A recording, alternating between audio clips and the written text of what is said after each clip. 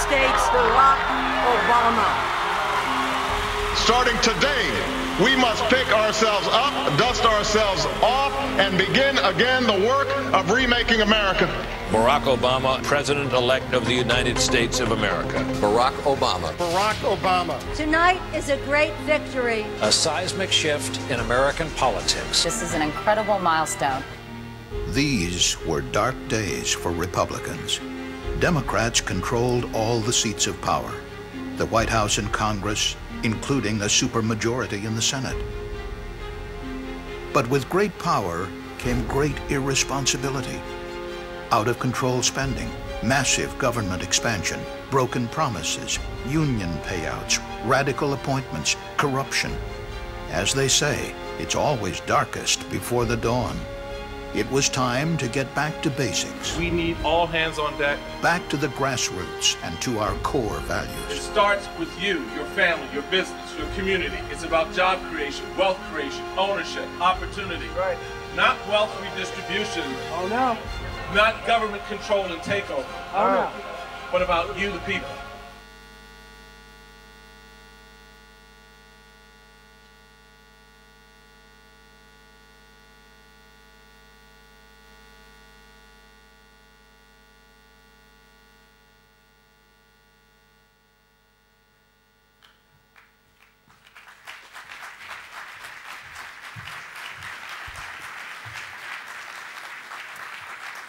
Ja, god morgen, kjære landsmøte. Vi har eh, mottatt et eh, veldig hyggelig brev som jeg nå har tenkt å lese opp for dere. Og det er datert april 23. Nei, 23. april 2010. To my friends at the Progress Party in, of Norway, I sincerely appreciate the invitation to join you for the 2010 Progress Party National Convention and regret being able to attend. I am certain uh, the enthusiasm of your attendees, det er dere, combined with the dedicated service of Siv Jensen and Progress Party leadership, will leave you all motivated to continue to grow the party. As the leading opposition party in Norway, tremendous opportunities to articulate conservative ideas will present themselves. I encourage you all to be prepared to take advantage of those chances. After our, our 2008 election cycle, many political pundits and new media wrote off the Republican Party and proclaimed that liberal ideology had won the day. However, as we have learned throughout this year and last, voters continue to value the principles of individual freedom, lower taxes, a strong national defense, less government intrusion, and more personal responsibility. Your commitment, hard work, and support during this incredibly important time will ensure Progress Party successes for many years to come. I look forward to your continued growth as a party and future electoral successes throughout Norway. I wish you an enjoyable Progress Party National Convention, and I trust the enclosed video will inspire you all to continue to fight for free market conservative principles. Sincerely, Michael Steele, Chairman, Republican National Committee.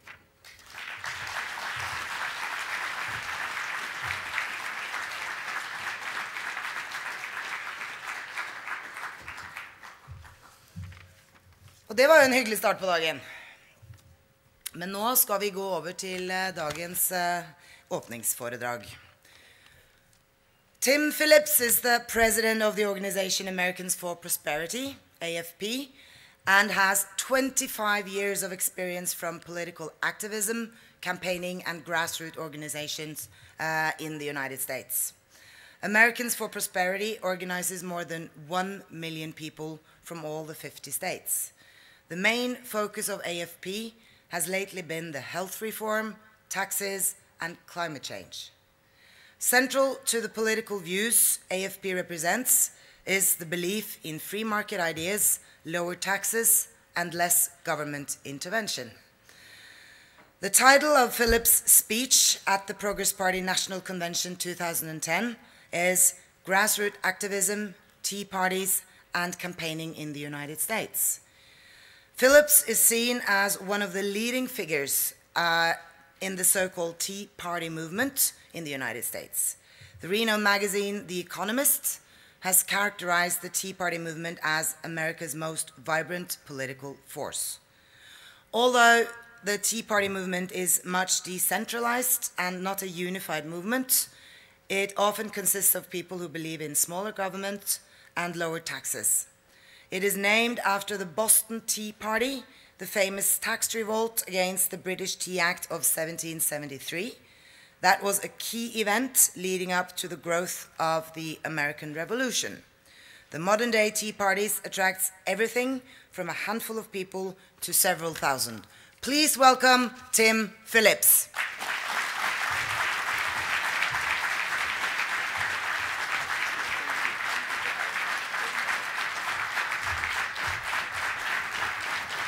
Well, good morning, fellow freedom fighters. Good morning. Springtime in Norway, or as my good friend Al Gore calls it, evidence of global warming time. After the brutally cold winter we've had on the other side of the Atlantic, where is Al Gore in his hot air when we need it most? It's been a very diff. Has it been difficult here as well this winter? Well, springtime is here and not a moment too soon. Thank you, Siv, for having us and for inviting me and uh, for your leadership to this party and to the country. And I want to thank you, the Progress Party, for what you're doing.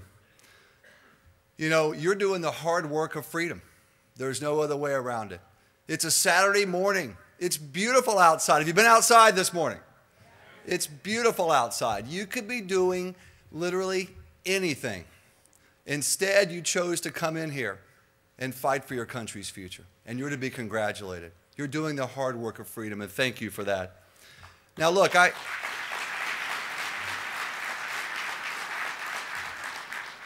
I understand, and just rumor has it, that my visit to your great country has created a bit of a stir on the left. Is that correct?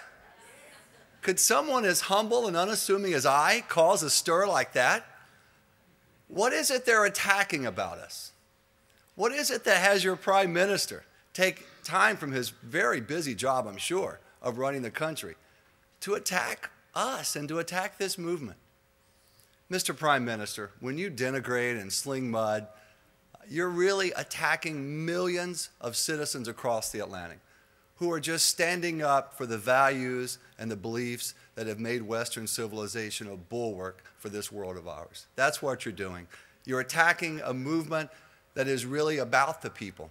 It's about making life better. It's about bringing us and returning us to the roots of our freedom, individual responsibility, an idea that the person, not the government, is paramount in this world today.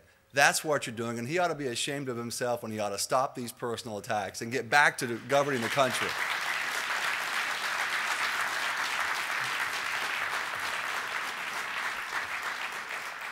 We are not immune to such political attacks on the other side of the Atlantic either. Sadly, President Obama and others on the left are continuing a, a rather personal assault on freedom.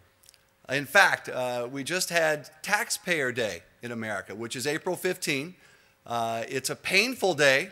It's when all of us have to fill out the uh, Internal Revenue Service forms and we have to run down to the post office and write our checks and give them to the federal government uh, for the privilege of, uh, of having their wonderful services. And it was difficult. Across the country, and you may have seen some of the coverage of this, literally hundreds of thousands of Americans came out to tea parties. Did you see some of the coverage of that? At countries, at states and cities across the country, really. The president, viewing his fellow citizens doing the very highest traditional form of democracy, going out and, and, and rallying and, and discussing freedom and, and the political process, said he was amused, said he was amused by these Tea Party groups. The elections are this November. And we're going to find out if this president is still laughing after this November's elections. There's going to be a huge sea change in the United States this November. Mark my words. We're going to win this November's elections and win them big.